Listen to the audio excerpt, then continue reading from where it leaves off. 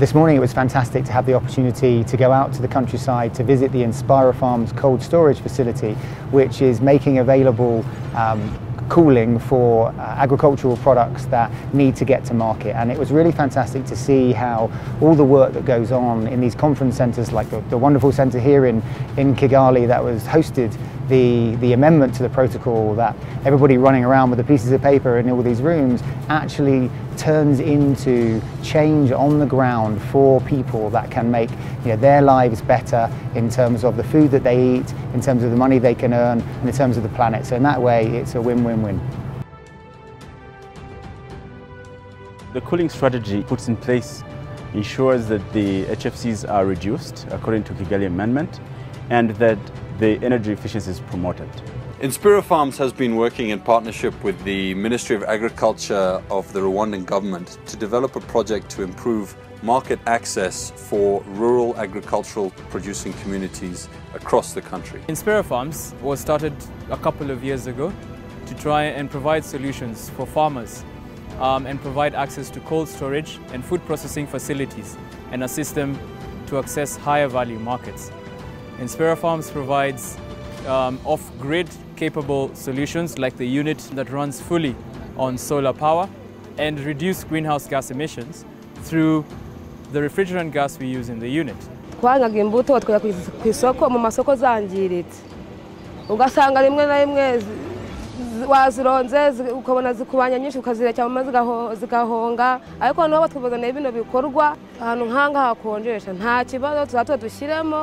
Igihe tuzabonera amasoko nyine tuba tugenda ibintu byacu bitunganye nta kibazo umusaruro wacu ntabwo uzongera kwangirika tuba tuwusara tuzana tubashe kuwubungabungira aha ngaha Energy efficient cold storage and food processing environments for smallholder farmers in rural Rwanda is critical to reduce a couple of key problems. Primarily, the food loss currently being witnessed in, the, in these regions, and secondarily, the access to the higher value markets that will lead to significant development of those communities.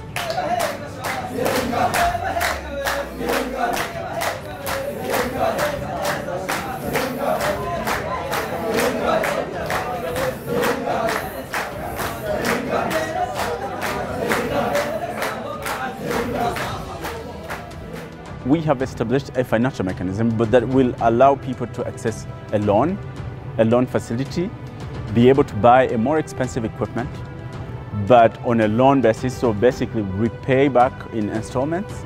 and, uh, and the savings that they're assured to get because they're consuming less energy, so saving money, will, will actually facilitate them to pay back their, um, the equipment.